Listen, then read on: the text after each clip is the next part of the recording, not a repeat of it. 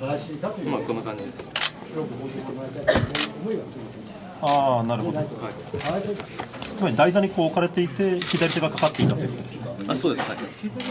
そうなるとチャックってこっちから開けるじゃないですか。こっちじゃなくて。はい。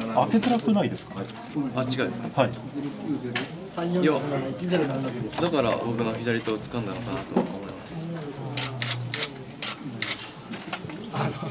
ちょっとちょっともういやまあ彼も疲れてるので、ちょっと一緒に帰ろう。ね、はいお母さんも待ってるので、事務所にお母さんも待ってるので。からのところありがとうございあますのーあと、また必要があれば事務所に来ていただいて、あのとりあえず、私の喉かあ、世の中カメラあるよ、下に。だ誰か忘れてるのあはい僕のです、えすみませんこれいくらするんですか？日本円で。これ50万以上すると思いますあと忘れ物ないかな。あ、そうです。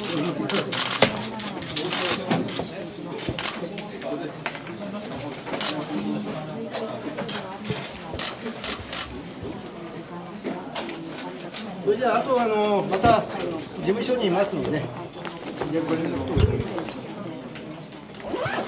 忘れ物ない。じゃあ。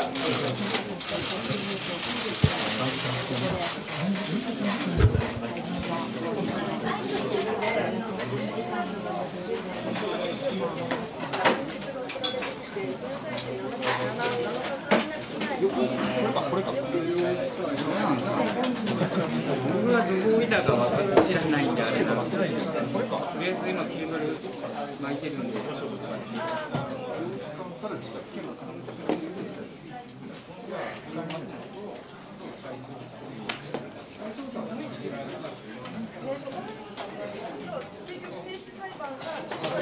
あ